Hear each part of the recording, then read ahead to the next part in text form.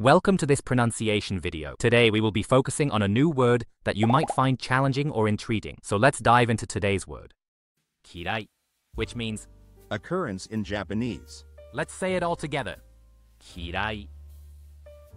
Kirai. Kirai. One more time. Kirai. Kirai. Kirai.